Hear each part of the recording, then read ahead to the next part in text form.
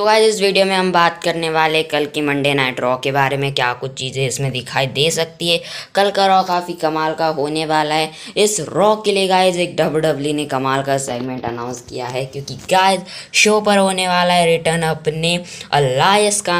And guys अलायस का concert W W बता रही है कि होगा।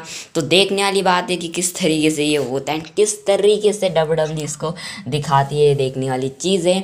और यहाँ पर यह सेगमेंट होता है तो इजिकल हो गया फिर नहीं? एंड अलायस एंड इजिकल के बीच केविन ओस भी आते हुए दिखाई दे सकते हैं आई थिंक शो के ऊपर गाइज़ एक मैच भी होने वाला है एम आई का क्वालिफाइंग मैच विमेंस की ओर से, जहाँ पर मैच होगा big time Becks Becky Lynch versus Asuka के बीच. एंड घर यहाँ पर बड़ा ही तगड़ा कॉम्पिटिशन है, लेकिन फिर भी मेरे ख्याल से किसी न किसी तरीके से बैकी लिंच हमें अपना स्पॉट अर्न करते हुए दिखाई देगी एम आई के लैडर मैच के लिए. साथ ही में गाइज़ जजमेंट जजमेंट डे, जो अब new judgment day and new leader भी उनके पास तो उनके लिए क्या चीज़ें ये? गाइस कल शो के ऊपर देखते क्या चीज़ें होती हैं।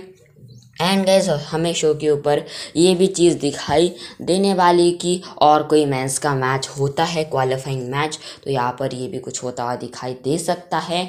और गाइज़ शो के ऊपर डब्ल्यू डब्ल्यू ने एक और चीज़ जो है यहाँ पर से हमें जो है कहती हुई दिखाई दी है कि गाइस यहाँ पर से कल के मंडे नाइट रॉ के अंदर क्या चीज़ें होगी? रॉलेंस एंड गाइज़ रॉलेंस क्या करने वाले शो पर ही देखते हैं क्या चीज़ें होती हैं। और guys let's see Monday night Raw के अंदर हमें क्या कुछ चीज़ें दिखाई देती तो ये फ़िलहाल कुछ मंडे नाइट रॉ में चीज़ें हो सकती तो आपको क्या लगता है क्या चीज़ें होगी? कमेंट में बताना ज़रूर। एंड आज की वीडियो बस इतनी सी थी। वीडियो पसंद आई तो लाइक कर सकते हो।